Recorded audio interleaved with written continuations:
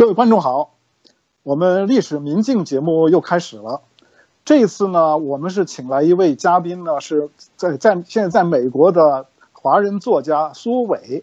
他也是耶鲁耶鲁大学东亚系的，是东亚学院还是东亚系啊？他的高级讲师，东亚系是吧？啊，高级讲师。关于苏伟呢，其实我早在四十年前啊就知道他，因为他是一九七四年就开始发表作品。后来的话呢，我们在上了大学之后，苏伟也上了大学，他是中山大学。上大学之后呢，我们还有一段这个文字缘吧。因为当时我在我们的这个历史名人节目中间呢，曾经请张华先生来做了一次关于这一代，就是十三校的跨校刊物。这个这一代，其中呢，苏伟就是他们中山大学的学生社团的领袖，也是参加这一代的创刊的。后来的话呢，苏伟先生呢，他是。到了美国留学，获得洛杉矶加州大学的这个文学硕士，然后回到中国，海归。当时想的就是海归了嘛，没想到呢，过了两三年，又在一九八九年，是吧？他是也是当时啊，一九八九年我们都知道那场政治风波了，那场风波中间的话呢，就把苏苏伟呢就一下子就又又来到了海外，啊，现在的话呢，他是呃耶鲁大学已经任教多少年了？二十年，二十年了，二十年，对，这个我苏伟先生你好啊，我下面就想想想请问一下，因为我知道啊你在文革当中啊是受了很多苦，你和你的家人受过很多罪，甚至可以说是受尽了罪，那比一般的这个在文革中间说受冲击啊，那个受的罪还要多得多，这个是为什么呢？你当时是为什么？你们家人是干了什么？让在这文革中间受到那么厉害的冲击，能不能跟我们的这个观众啊讲一讲？呃，当然，首先是我父亲，我父亲是广东的，用现在的语言叫民民主人士。我父亲是民盟广东的秘书长和省政协的常务副秘书长。然后呢，他的这他这样的经历，自然其实他就坦白的说，他就是跟着共产党几十年。但是呢，也就是因为跟共产党几十年。党经常派他到国民党这个这个地方抗战的时候，跟国民党的一个师当一个国民党的一个师长的一个呃秘书，私人秘书。抗战后，就是他其实广州和平解放的功臣。我父亲就我父亲是策反，当时广州的八十六军的军长，就国民党的八十六军军长，就当年他的他的抗战时候的那个师长啊啊。所以呃，后来。解放后，我父亲五三年就被关进监狱一次，是一个大冤案。那是刘少奇、周恩来亲自过问的，因为南方局都被牵进去了，共产党的南方局。所以，我在我出生，我是五三年出生的，我出生那年，我父亲就在监狱里啊啊，就，然后到文化大革命开始，就说已经各种各样封言。那时候我父亲还没被抓，我们就已经封言，又说我父亲。有血债啦，又说我父亲可能是在现在国民党里还有职位啦，等等等等。结果六八年，六八年我父亲就被抓到警司，就就等于是我父亲当时已经躲到一个一个乡下去避风了，有点在在乡下被带走了。然后呢，随后因为他躲在我大伯父那里，我大伯父随后就被激斗给打死了。我大伯父啊，哦，然后打死了，然后我的我的。我的二二哥因为文化革命是广东工人造反派的一个头头，然后随后又被抓起来，又又说我父亲是他的他的黑手啊，然后啊，我二哥也是被关进死牢，我爸我的父亲也被关进死牢。广东当年有个叫特一号案件，又怀疑我父亲是特一号案件的的人，有一个人写了一个小册子骂毛泽东的。那个人文采斐然，一啊，然后因为就是认为是一个像我父亲这样有学问人才能做的，所以呢，由于这些原因，我父亲就说他是什么军统特务啦，又说他在国民党现在还是什么中将啦，什么这个那的。然后当时广州东山，关于我父亲的大标语都贴出来了，就东山啊，我家附近。然后呢，我们家就来来回回被抄了好几次。我家是大兄弟姐妹有八个，然后除了我我妹妹以外，我大哥当年在东北，然后回来要要他回东北单位，他倒是在老清，我大哥是老清华的，他离开广州最后一句话，上火车以前我送他，他说，他就用了中国的传统观念，说我当时十五岁，说你你是个儿子，现在家里出了这么大大的事儿，你就就应该把这事儿担起来。所以呢，我那时候开始就开始护着我的祖母和我的妹妹，然后应付抄家，啊，送牢饭，去去牛棚看我的姐姐，啊啊。到单位机关单位去，因为都停了，停发我父母亲的工资，我们家里一分钱都揭不开锅了。我去讨要生活费，然后甚至要到到街上的街道工厂去，想打点小工挣点钱什么的。到一九六八年底，我当时老初一，但我是上学早，我是十五岁那时候。六八年我十五，我可以不走啊，可以不下乡的，但是我在广州实在是。这个家庭的重担我已经承受不了了，我就想离开家，就想离开家远远，所以我就我就报名下乡，就这样。所以那个时候我已经陪着我剪了头发的小姐姐游街，嗯。啊，各种各样的羞辱我的事情都都都见过了，就是被因为广东话有一句话是最恶毒的一句话，叫中文呃呃普通话说叫合家产，广东话叫冚家产。意思就是说，全家遭血祸。我们当时的邻居就会悄悄的跟别人说说，这家人被合家产，嗯嗯，就家遭血，对不对？所以我下乡的时候，是我们那个生产队的知青里面，我们当时到海南的兵团，嗯，我是全队六十八个知青里年纪最小，又是出身最黑的。当时一般出身黑的叫黑七类。我当时马上就被队里边说我是杀官管子弟啊啊，杀官管就是家里有被杀又被关被管制的人的孩子就叫杀官管，我当时就被我戴套上这个帽子，这是套在我头上，就就，嗯，对，这个我是看到我是看到网上的消息啊，就说四月一号你在这个呃纽约的法拉盛演讲的时候。就讲到你这个文革中的遭遇的话呢，台下很多人在场的很多人，啊，包括有很多本来也是饱经风霜，知道很多这个这个劫难的这些人，他们都流下了眼泪，啊，是这个今天啊嗯，你讲，有时候我都不愿意提起这一段，包括啊啊文革后，我父亲从监狱放放出来都认不得我，因为我那时候。离开的时候我才是个孩子嘛，认他见到我都问我你是谁呀？啊啊，所以所以后来我父亲文革后都不让不不愿让我们谈起文革这一段，就是他也不愿意谈起，家里人日常在我父母亲面前都不谈起。那时候真是，我我妹妹后来就等于流落街头了，就是我后来走了，我的祖父也就我的祖母也被我的堂哥带走了，我的我我妹妹十一二岁就一个人。当然，家里边还是可以住在家里，但是没有人管她了，她就等于流落在，就有两三年她都是流落一个人过的。啊，嗯，这个下乡当了知青，虽然离开了离开了家庭，但是当知青，你在农村当知青的时间是相当长的，一共当了十年嘛，是吧？这个十年，我想可能也吃了很多苦。年里边有应该可以说分了两段，一个是真正的连队干体力活的一段。另外一段呢，客观上说就是我用笔来改变了自己的命运。我就因为写作，后来把我往上调上去当当笔杆子了，在当时就随着报道报道组。啊，就是就那段呢，就是稍微没有那么累了，是吧？对，后后后半段没有那么累了。嗯，但是因为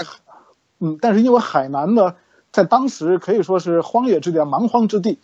所以整个条件是还是相当差的。很差很差，因为我去的地方就是当年我这个人姓苏，那是我老本家苏东坡流放的地方，就是儋州。对，啊，对，我去的就是那个地方啊啊，那个地方就是蛮荒之地啊，因为那个地方并不靠海，其实是海南岛的内陆啊，都是一都是我们呃一年到头能吃上两次肉就了不得了啊啊，对，啊，日子很苦，嗯。这个就是说，因为我是听说你在海南当知青当了十年，像我在农村待了不到三年，当然也吃了一些苦，但是跟你们的就没法比了。另外的话呢，你写这个三部曲，尤其是写最后这一部《磨坊的故事》，据说也是用了十年。对。那么，那么这个这么长时间，你当知青那么长时间，然后写这个书那么长时间，你为什么会产生这样持久的这个创作冲动啊？是想就是要把那一段历史啊，要好好的记录下来，是不是有这样的一个意图？是的，呃，这个说来说来真是说来话长。我这个三部曲其实第一部写的是米调，嗯，当时是一个中篇啊，嗯，那是那是九三年，一九九三年写的。有一句话说啊啊，那个啊啊那个就是希特勒的那个那个，现在脑子我我今天没脑 脑子不好用，就是做是就就那个那个集中营叫什么啊啊？有一句话说，嗯，奥斯维辛集中营。对对，奥斯维辛集中营以后，嗯，就奥斯维辛以后没有诗啊。有一句，这个有一个哲人，西方的一个哲人说的，这是我真实的体会。天安门事件后，有两三年，我完全进入不了文学的状态。我自己是个写作的人，呃，也写从十十十七岁开始发表作品，也写了十几二十年。到了那个时候，我突然发现我拿起笔来写不了了啊！就天安门事件以后，整个人脑子是僵的。只能呃发点政治议论还行，写文学东西不行了。所以米，啊，当时我的名字还有点所谓的敏感，所以我当时的米调和后来的米谷都是用阿仓的笔名发发表的。我当时就想重新拿起笔来写作，来啊啊啊啊来啊，所以可以说那个米调是我的试笔之作。但是从我自己写这三个小说，啊，从一开始我就是在想。啊，文革已经很多人写过了。我要写的话，我就要写一个跟别人不一样的文革。对，就是不同的角度。所以，这样从九三年，大概那个那个其实写的很短，九三九四年写完了，就是因为是个冬篇嘛，我就那个写完了以后，写完了以后意犹未尽，我又九五九六年又开始，米谷大概头尾也写了六七年啊，米谷，嗯嗯，然后是到到我我到了耶鲁教书以后。九七年以后才写完，九八年写完，嗯，然后写完在国啊米谷是在啊米调是在海外的《世界日报》连载过，米谷是在台湾一九九九年出了一个单行本，然后二零零四年啊我我大概我的名字和我重新可以在国内发表东西，应该是二那二千年以后，我大概发表，南方周末给我写专开开专栏，应该都没问题了。所以我大概二零零四年在啊南京中山，把这两个中啊中长篇发表出来，当时发表出来挺不错的反响。那个米调呢是二零零四年全国最佳小说排行榜就入入围的，好像是大概一共有十二个小说入围，这是其中一个。嗯，然后呢这个尼古呢，这个对对对不起啊，这个苏伟年出。苏伟啊，对不起啊，现在的声音啊不太好，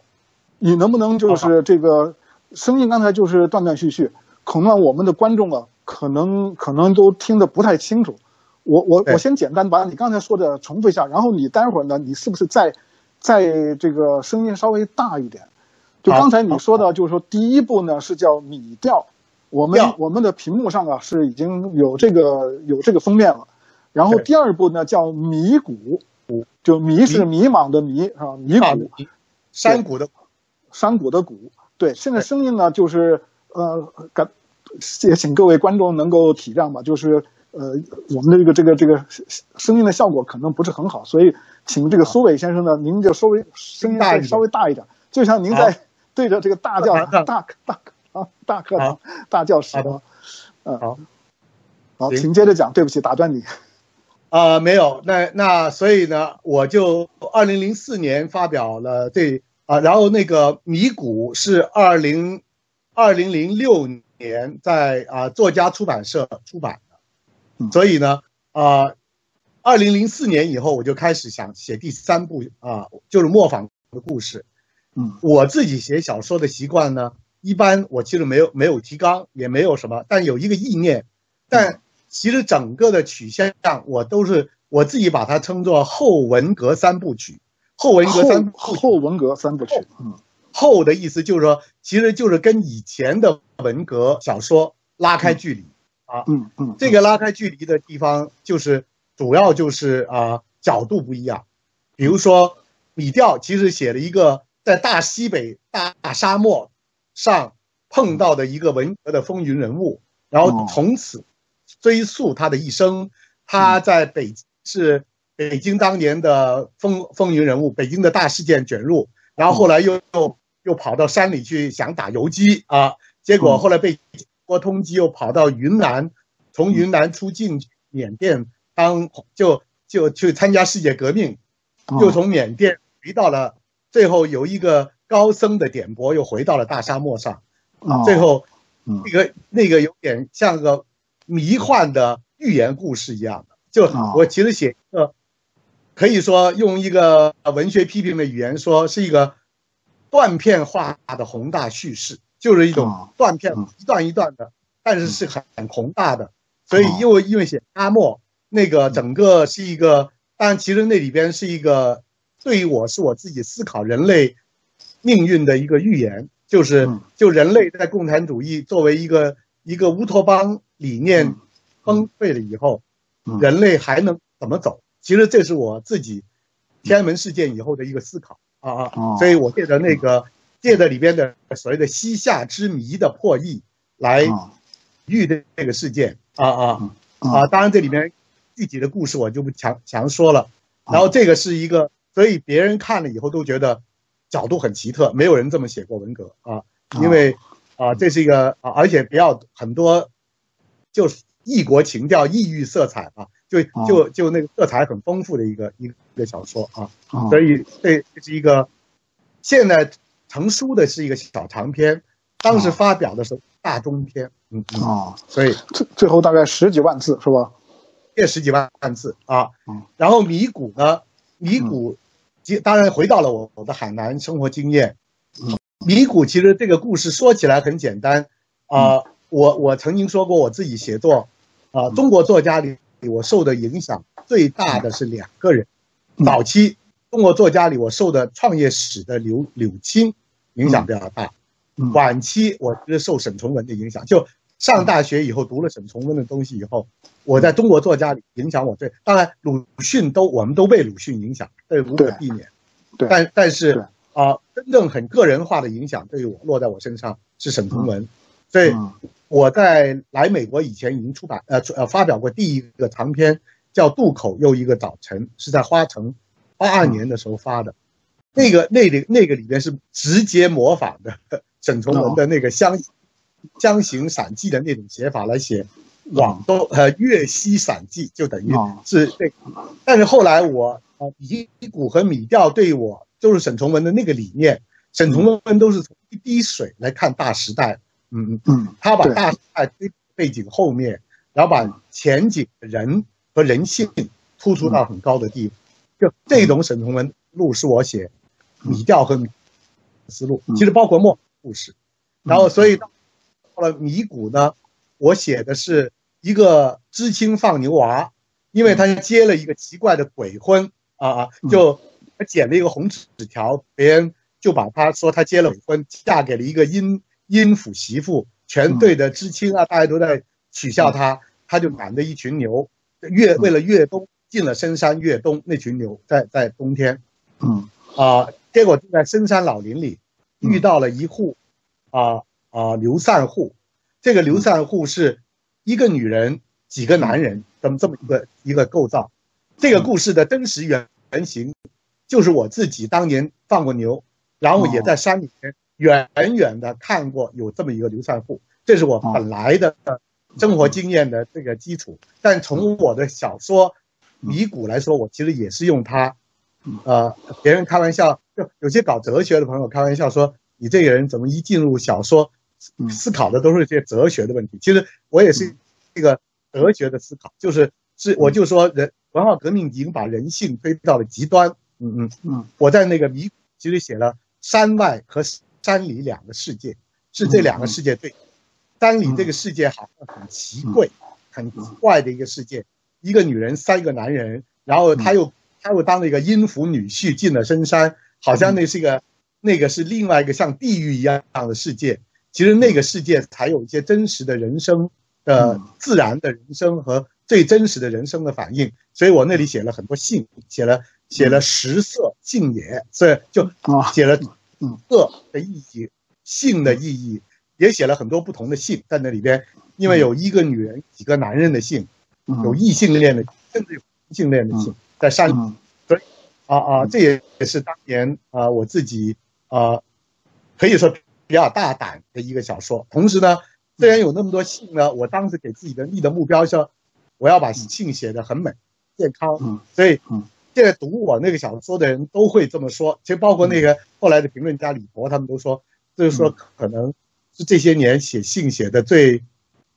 那时候有有个评论家现在很有名，叫毛尖。他最早评我的小说的时候，他还是个博士生。他在香港读书的时候评我的小说，他他对评价就说，好像他这个小说。几乎包含了一切性的可能性，但是他又是小说类型的可能性，就是说篇、中篇、长篇的揉写法都揉在里啊。呃，我自己到现在为止还基本上认为《迷谷》是我自己比较满意的一个小说，写起来比较顺，大概是因为跟我自己的生活经验比较贴近的原因。这个是在哪里哪里出版的呢？这个这个《迷谷》是《迷谷》是作家北京作家出版作家出版社出版的。嗯，他们也给那个、那个、那个、那个啊，他们的推荐语吧，就是他们的那个封底的语言，用了一些吓人的词，说什么什么震撼当代文学的神品之类的奇很奇特的话啊。所以，当然他们是当做他们的一个经典系列，放在他们的经典文库里，放进给他们的经典文库。所以，米谷和米调出来了以后呢，啊，评论界的反应还是不错的。所以，啊呃，出版社。不不，就是呃呃那个中山编辑部和那个当代文学评论，共同约了我和李陀，做了一个很长篇的谈。当时，呃呃还在文学界有过一些反应，因为借那个笔谈，李陀呢谈了一些很尖锐的对当前文学的批评问题。就啊，当然他们李陀对我那两个小说他的基本评价和那他对当时的文文学的批评，就是说文学，当今的文学那个时候是。九十年代末和二十年啊，就二二千年初，他说，当今中国文学的最大问题就是想象力的苍白。他觉得我这两小说呃最优的地方是充满了奇奇幻的想象力，就是就是想象力或是我们那个两个小，他认为这两个小说。所以到我写第三个想写二零零四年开笔要写笔啊磨坊的时候。我就给了自己要求，一方面，我的角度还是特别，所谓的后文革小说，我还是找一个别人写过的角度，但是我又想找一个很常见的题材和很正面的写法去剖析文，我想正面去写文革，给文革的一个正的一个小的事件、小的人群，把他文革那种荒诞性、那种荒谬的内在逻辑写出来，所以我就选了一个文革宣传队的故事，这个。啊啊啊！磨坊的故事是写文革宣传队的，写普吉亚去跳芭蕾舞啊，里边有很多舞蹈的故事，写的很多舞，写的当年的啊那里边的啊那个故事说起来也很简单，也也是熟悉文革的人很熟悉的。文革宣传队的有一句口号叫“演革命”，这个听听听不清，听不清。某种意义上。啊，刚才刚才刚才说的几句话没听见。当时有一句口号叫什么？演革命戏，戏做革命人。啊，听到吗？演革命戏。现在能听到，但是声音不是很清楚。啊，演革命戏做革命人，听到了吗？现在听到了，对，听到了。啊，演革命戏，在我看来，文革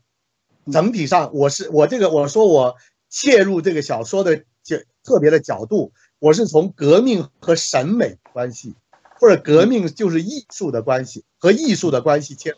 因为卡斯特罗讲过一句话说，革命就是艺术，然后列宁也有一句话说，革命是盛大的节日。啊。对，在我我借用这个这个宣传队的故事和这个这个故事最后的就演变为，嗯，演革革命人做革命戏，这个一颠倒以后。就整个革命变成一场演戏，啊，这个演戏怎么样？最后把我们的正常的人性最后扭曲成荒诞的悲剧啊，大概写。然后当然是从最简单的人的互相的性的嫉妒啊啊啊一种啊性别和同性的嫉妒引出来的政治啊，这个政治最后扭曲为一种道德化的诉求，最后就崇高的正义最后怎么样把人，就这个过程，我在那里花了很多力气去写批斗会，写舞台表演。都是很写实的一个小说，所以写的那么难，和写了那么长，也是因为它是一个写实的，要考你的写实功力。如果你不在写实上让读者觉得是失真的，那你就失败了这个小说。所以这个小说虽然写了一个小地方的小故事，但是其实写了三十多万字，是我三部小说里最长的一个。哦，写了三十多万字啊，三十多万字，三十三万字。这个这个我我我要插断你一下啊，这个因为因为好像写文革中的宣传队啊，文革中的文艺宣传队，看来我们很多至少我知道的就有好几部，其中有一有有一个呢，就是我的一个朋友叫胡发云，我想你你可能知道他的名字了。胡胡发云，他我没有看完，我叫迷东嘛，对他迷东，他就是写的一个一个文艺宣传队怎么组成，当然他那个那个故事，他也好像也是打算写，至少是。至少是不是一本，也许是三部曲，好像也是说了三部曲，但是他这个是第一本。我我看了，封也很很厚，也有三十几万字啊，也有三十几万字啊。他影啊，但我没看完，坦白的说，啊啊，我我没看完，我我我我的写法跟他完全不一样啊。那时候我我借来看的时候，我已经写完了，我写完了我的你啊过访的故事，他因为他就出版了。我手手边的朋朋友有，我借来看了一下。当然，呃，我不愿意去评别人怎么样。我我我的意思说，至少是两部完全不一样的小说，而且呢，也是写不同时期的。他基本上写文革初期，一直到六七年了。我其实写的是七四年、七三年的批林批孔。哦，我写的是不同阶段的故事。哦，这个刚才啊，刚才你说到。就是像，即使是像尼古这样的，已经甚至是有这个关于性方面是个百科全书了，是吧？无所不包了。但是这样的书的话呢，作家出版社也出版了，而且在国内的话呢，李陀和您还开还这个举行了座谈会，是吧？的对谈，而且还有很多评论，就是说还是很相当顺利吧。但是呢，这个我是我是听说你这个第三部这个磨坊的故事，它反而倒是在中国大陆不能出版。这个是什么道理？是这个书里边，你刚才谈到他写的就是呃，就是一个文艺宣传队，当然中间也写的也有性，也性和革命。尤其你刚才说的那句话，我觉得很深刻了，是吧？就是做革命人演革命戏，把这两个颠倒过来，是吧？颠倒过来的话，马上这个意思，这两句话的意思就完全不一样了，就更深刻的揭示了当时做革命人是怎么一回事儿。是不是因为这些原因，导致了这本书在中国大陆出版受阻呢？呃，两方面吧，大的方面是整个大环境。去年是文革五十周年，后来我听说，呃，按道理出版社毁约，其实我都可以给他们走法法律程序，他们要赔偿我，我要要去诉他们的。这是后来哪家哪家出版社？我就不要说了，我就不要点名说。好好明白。好，但是呢，编辑跟我解释说，不是我们一家的问题。去年全国各家出版社都接到这个指令。就是因为文革五十周年，一律不准出文革题材的书啊啊！这是一个大的、大的环境、大的条件，所以他们只好毁约。另外一个呢是具体的审稿的，呃，编辑的顶头上司翻了一下我这个书，好像发了几句议论，说嗯，这个书还挺，意思说挺尖锐的啊啊，就还提的问题。骨子里当然，我提的问题是很尖锐的，但表面是一个唱唱跳跳、青春言情，是那个年代的青春偶像故事，可以这么说。这个这个我还是您刚刚这样解释了，但是我还是没有完完全弄懂啊。因为你要说是文革五十年，对，那我文革五十就是不要赶在这个风头上。那过了这个风头，比如说这个这个过了五十年，到第五十一年的时候，到今年。那应该就是稍微放宽一点吧，这是这是我的第一点考虑。第二点考虑呢，中国大陆出版社现在也有上千家，是东方不亮西方亮，这一家碰到这么一个审稿的人，我是准备的，啊啊，是吧？我是准备这样的，啊，我是准备，因为今年、今明年可能还是很紧，嗯我准备，反正我自己海外出这个当等于当一个初稿，也听听大家的意见，我会再把它再整一下，然后将来在国内，我一定要在国内出个国内的版，啊啊，嗯确实是这样，所以我现在甚至都考虑在台湾出的原因就在于我想出一个国内的版，嗯嗯，这个在在现在出的是哪一家？在美国是哪一家出版公司呢？哪家美国是南方出版社，这家出版社好像大家知道它不多，但是是别的海外的作家介绍给我的，说他们比较正规，他们确实他们是那种有正式书号，也在国会图书馆嗯有国会图书馆那个书号系列的，所以啊、而且出书的过程也比较比较顺畅嘛，就是嗯啊啊，而且他基本上也不是那种自己掏钱出书的那种模式，他就是他接受了你，他就帮你出了以后，由他们卖书来来来 cover 这个费用，所以整体上呃我那么合作还是顺。啊，这个呃，我想问一下，你你这个好多人书是进？对，声音现在您的声音啊，又有一点听不见了，我不知道什么原因了。对，啊它就他就是时断时续和这，尤其是您声音比较低的时候啊，它就甚至有时候可能出不来声音。我我想问一下，这那是那是去年年底出的还是今年年初？什么时间出的啊？今年年初，今年今年年去年年底和今年年初吧，对对的，啊，嗯嗯，因为在海外啊，我们都知道，在海外出这个中文书啊，呃对，现在这个市场是非常非常不好，因为现在我们嗯都知道，现在的一般的人的话，得到信息的手段已经极其多样化了，嗯，那这个各种视听是吧？我们的这个各种移动媒体。他们他们往往就不太愿意花钱去买书，因为网上又有那么多的这个书，那么多的资料，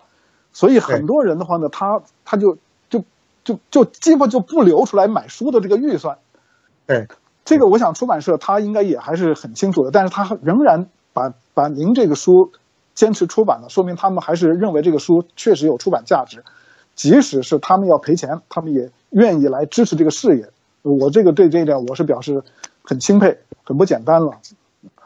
我觉得不错，他们做的不错。虽然书现在还有一些错别字啊什么的，印刷的版式没有国内的输出的漂亮啊，对嗯，但我也觉得他们还做的不错，真的。嗯，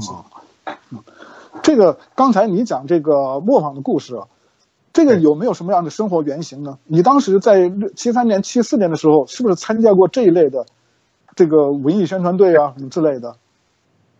文艺宣传队应该说是很熟悉的，但是呢，很多朋友看了这个小说以后都说，你是不是就是宣传队的？你是不是就会跳舞啊？其实我都不是，而那里边的故事 嗯。基本上都是虚构的。然后呢，这个虚构当然也也跟我自己，因为我当年是师报道组，我们兵团，嗯。然后我后来也调到了我我跟那些宣传队的人很熟悉。嗯。当年我我我当年年轻的时候，别人老说我像那个那个白毛女里边的大春儿，然后呢，我们诗宣传队的那个头还一直说要我去拉我去跳大春儿。所以那个书里边有一段话，有一个人物有点我自己的影子，是就那里边那个报道员叫小朱，我那句话大概是我当时说的，说叫我叫他跳大春儿，我不如去跳大神儿吧，啊，跳大神吧，啊，大概就是我当时说的话，我就不肯去去宣传队啊啊，但是我跟宣传队的人应该说是很熟悉的，嗯，对那些生活我是很熟悉的，哦，但整个故事是是虚构的，啊、这个通过这写这三本书啊，你对这个文革啊现在有一个怎么样的一个一个呃反思、回想和这个探索？啊？因为这个三三这三部曲啊，您也刚才也谈到了，它都是想以小见大，从一滴水也好，或者说一个碎片化，或者说最后呢是最后是通过这一个小侧面，一个一个小的事件，一个小地方的小的事件，来反映这个大时代。就像你刚刚说的，这个是沈从文的，沈从文的这个呃，他的他的风格就是这样的，是吧？对。但是你对这个小，我们刚才已经听到你讲了，对这个大，你想反映这个文革的大是哪方面呢？是一个对文革的本质是有什么样的这个理解啊？嗯，比如说啊、其实文革最后要追根，要追到人性上啊。所以在米调有一个有一个关键词叫人的根性出了问题啊啊。所以当年那个高僧点拨米调的话说，嗯，你呃高僧他啊啊信佛教，高高高僧都说不是信佛教和不信佛教的问题，这是人的根性都出了问题。你要从这人的根性上找原因，这是我的米调啊问题。米调里边有有些很玄的哲学思考，是关于嗯。沙漠啊嗯人性的。嗯，然后到到了最最最后最后这几个我们我我们又没有听清楚，就是沙漠后面沙沙漠呃沙漠死亡，因为因为尼布泊是死亡之海嘛，就就沙漠就是死亡之海。沙漠就人在绝境下会怎么思考人生，啊啊，就是人在绝境里边，我有很多关于啊时间的思考，关于啊啊啊啊死亡的思考，时间和死亡对于人类今天有什么意义？包括那个所谓的西夏之谜，当然那个谜谜道的写作是很神秘的，我到现在其实都没去过大西北。米调是完全凭空写了一个大西北的故事，但是看过那个小说的人都觉得我是大西北混出来的。然后用我自己开玩笑的话，我说大概我的前世吧，那是我的前世的故事。因为米调里面写了很多大西北，写了很多我的预言的那个西夏古国的冻土下面还压着一个更广大的古国的这么一个预言性的一个故事的。今天的语言叫梗，这么一个梗，很奇怪，就是我一边写写这个米调，要做案头工作，要去做功课，看了很多考古学的东西，好像考古学跟我的小说在同步进行。我的小说往前，考古学好像在印证我的小说的那个预言啊。但我那小说是那种预言式的写法，不是那个呃预。预见未来那个预言是那个呃童话预言那个预言，其实我本来是个预言式的写法，结果后来的考古学，不断的在印证我那里边的的的我的虚构的梦想啊，这是很奇怪的一个写作经验啊。到了我写米谷的时候，很奇怪，米谷米谷完全没有任何预没有没有预案，米谷是有了一个意念下笔写。就往前走，人物出现了以后，按照他内在逻辑走。米谷是一个啊超现实，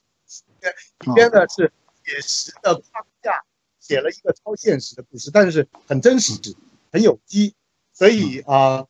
很多人，因为因为里边的那个男知青叫陆北平，他涉及到了叫叫什么陆陆什么叫什么陆陆北平，走路的路啊。北平就是大北京的北平啊，路北平就那个北平路北平，很多朋友都以为你是这么写的你自己，我说我当年是个乖乖牌，我说我哪里敢这么涉及这么多姓啊？笑死！我说那那其实都是虚构的，但是呢，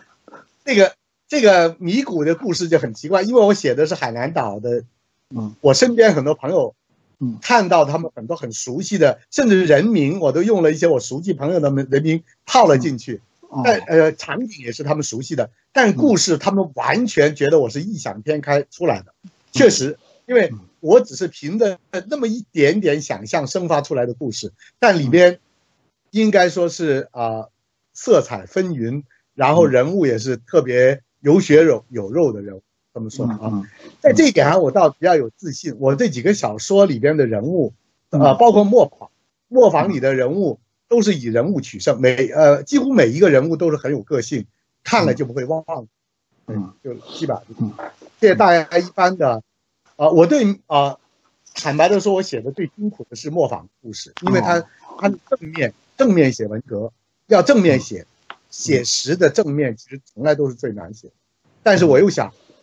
我就要给后世人留下一个文革的一个一个案子，就是这个一个具体的一个英文说的 case，这个 case，嗯，未来是可以当做一个一个活的鲜活的历史的公案来处理。就是我是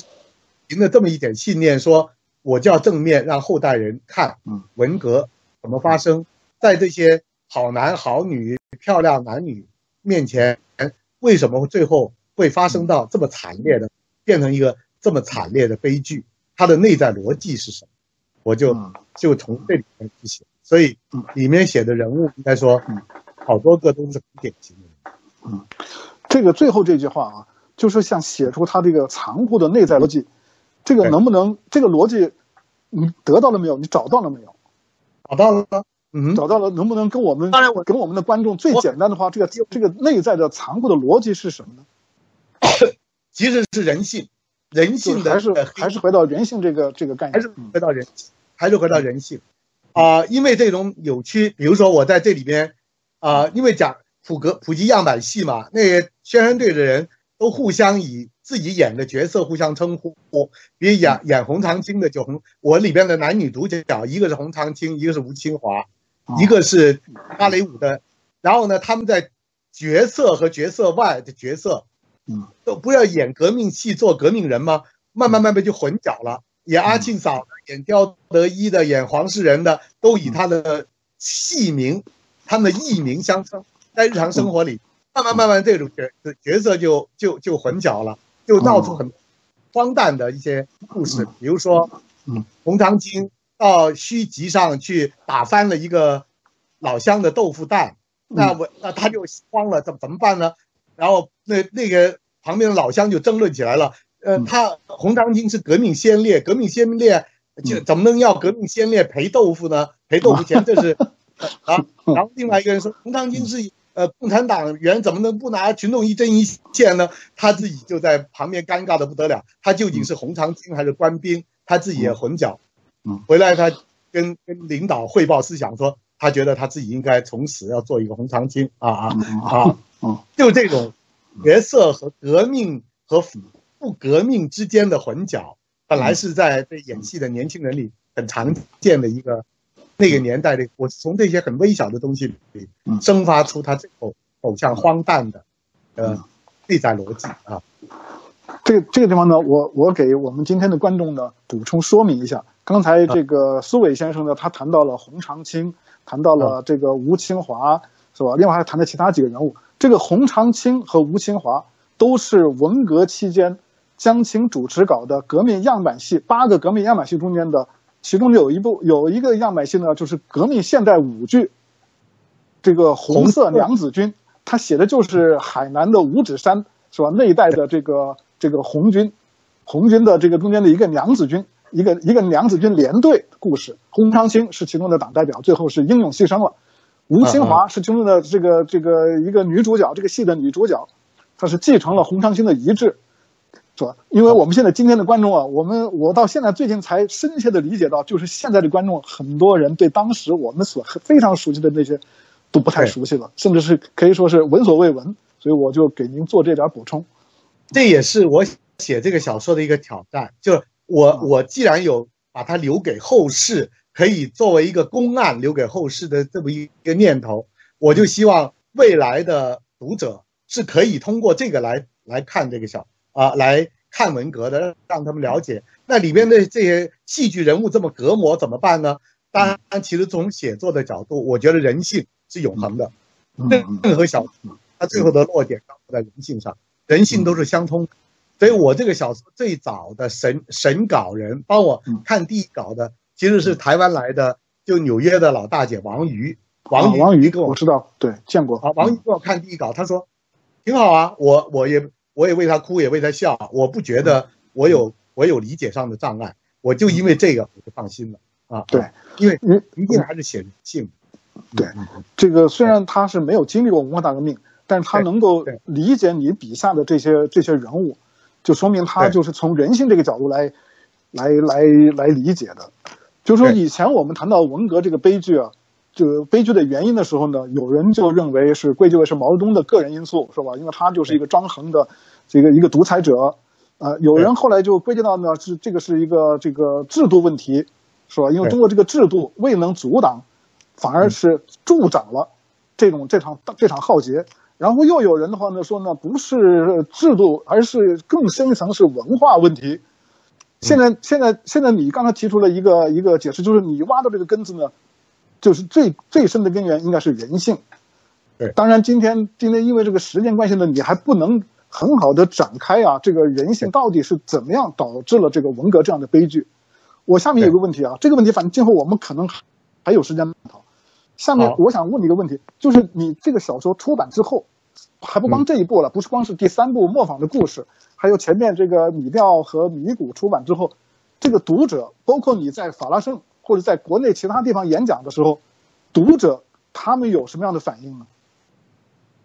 啊，法拉盛的演讲，因为只是现场，法拉盛的演讲确实台上台下都一片泪光，因为我也讲到文革的经历。那那个演讲的气氛是很热烈的，但是不等于是我这个小说就有这么强烈的反应。我反而我自己倒是真的有一种如履薄冰的那样一种心情啊，因为小说出了以后，我请耶鲁的一些朋友都看了。我当最开始我是请了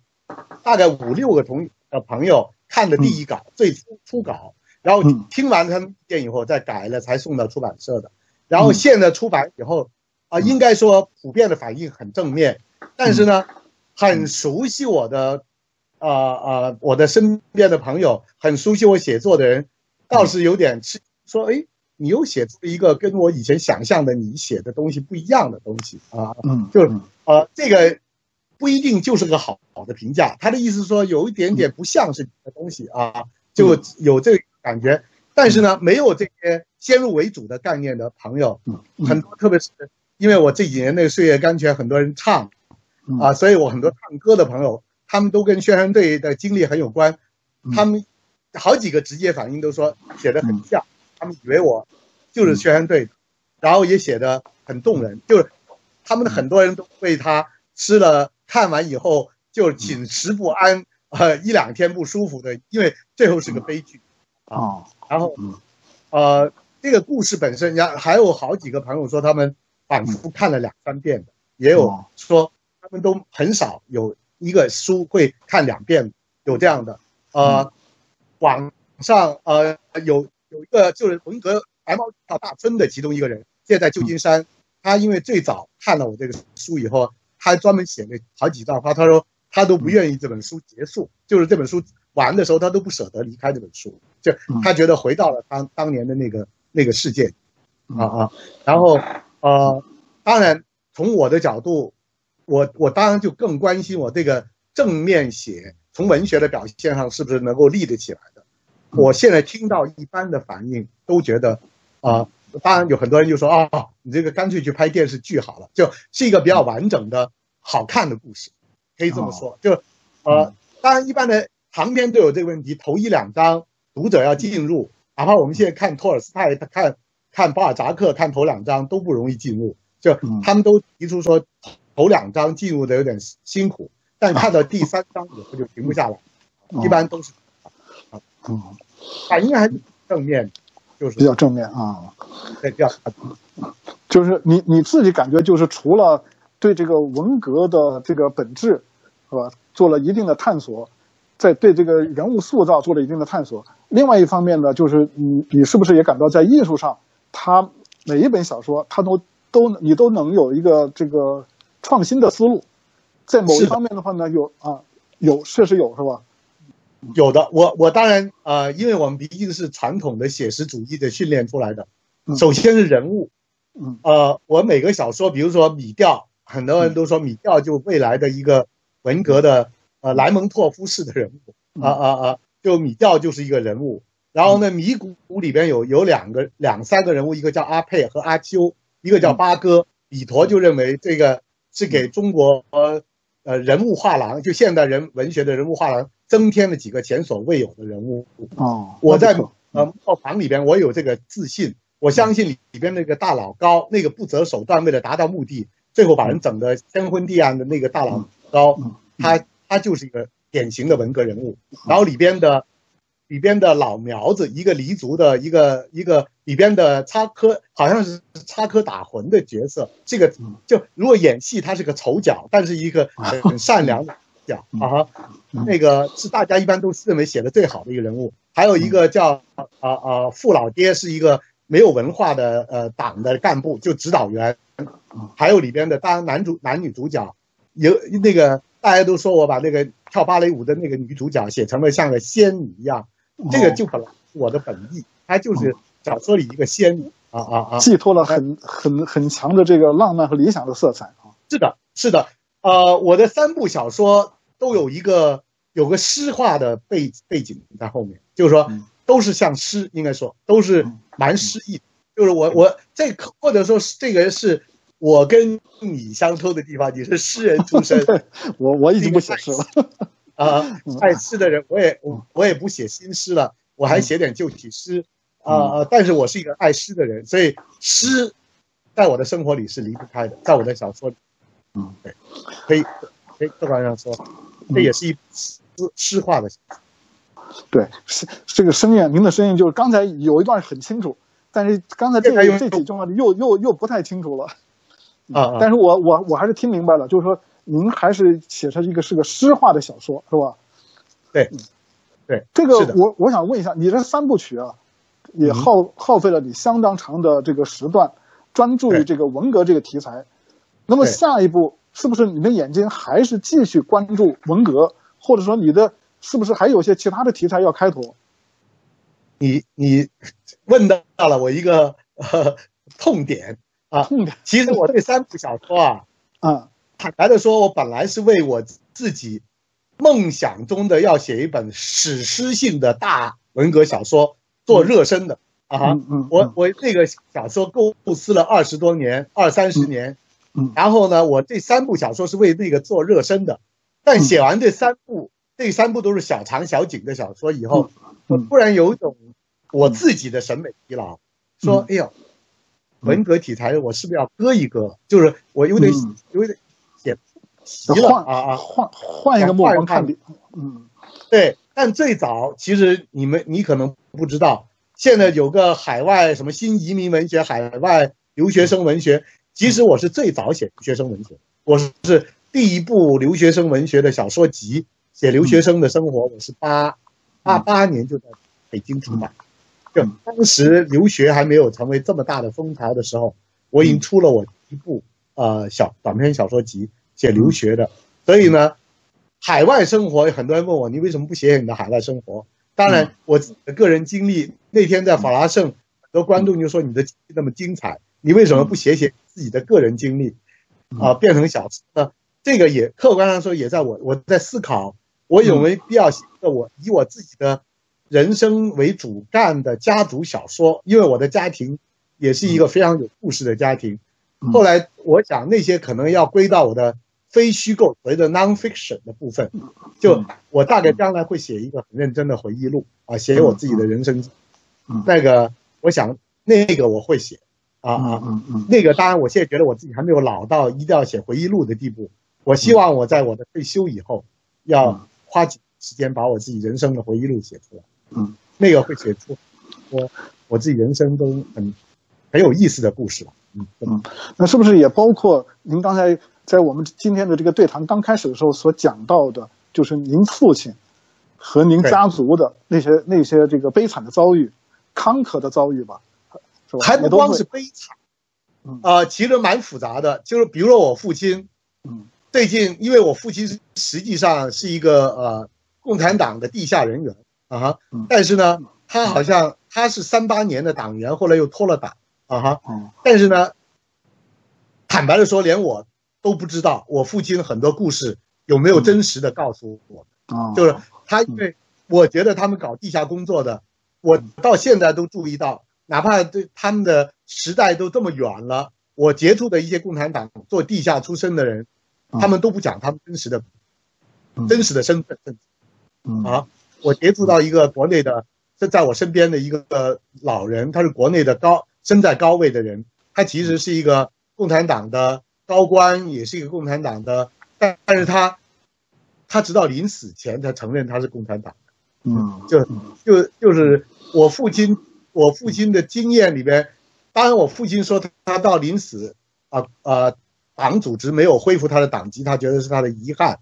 但是我又感觉到我父亲好像一直其实都在共产党内，好像有一定的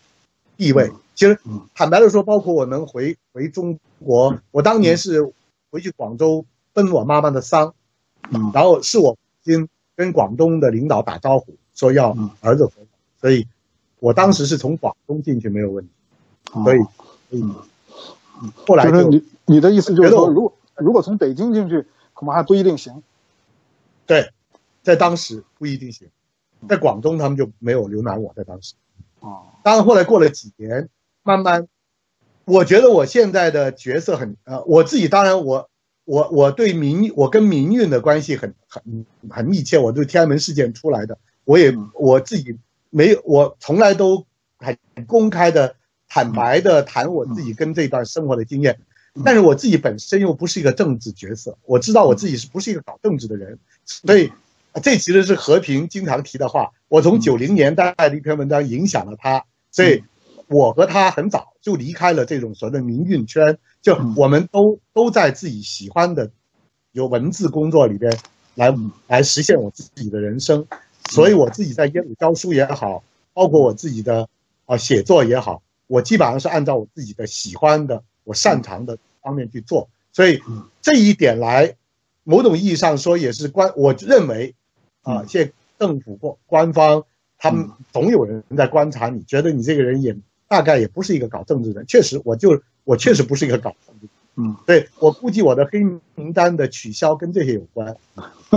明白，明白。对，但是也也许你这个写了这个这个磨坊的故事之后，又引起他们注意，也说不定。因为是那虽然是历史啊。最近微信里边我写。我写了回刘冰燕的最后时光，我发了出来，在国内点击过万，我随时准备国内要删帖的。哎，这然没删，嗯，没删，我看没删，到处都在传，别人就警告我了，有人连文字都不敢用语音说你最好，你这样你会不会又重新上黑名单？哎，我 我说死猪不怕开水烫，这本来就是人生的一步，没必要去避讳它。嗯，对，对，是好。那我们，对，差不多了。我们，对我们今天的时间就差不多快到了。这个我记得那个这个原来巴西的球王啊贝利，他说的有一句话，我想你肯定是有印象的。他就说了，问他最他最满意他哪一球？他说我最满意的是我在下一球，是吧？就踢他踢进了那么多球，但最满意的他他永远是盯着下一下一球。我想这是一切有事业心是吧？对艺术真正热爱。对小说创作真正热爱的这个作家们，恐怕也是人同此心，心同此理。这个虽然刚才这个苏伟先生他是说到他对他写的这么多小说，他有有他有自己很满意的，但是我相信他还是认为自己最满意的、更满意的还是下一部作品。我们这个呢，希望 希望如对，希望每一部都能比前一部写的更好，是吧？对对，好，所以。我你说开玩笑说，我还在长身体的时候，是精神上还有发展的空间啊，所以啊，希望还在在文学上还在长身体的时候，还有更还有空间，自己还可以去开拓，可以这么说。好啊，这个就是就永远对这个生活是吧？永远抱着一个青春的心态。就像我我看到看到这个上好像是曾慧燕谈你的这个写你那个评论中间，他有一句话，我看了之后我觉得不错。他就说呢，尽管你受过那么多的苦难，从在在这个文革初期、中期，乃至到下乡之后，乃至到八九年受到不公正的待遇，但是呢，永远没有对人性丧失希望。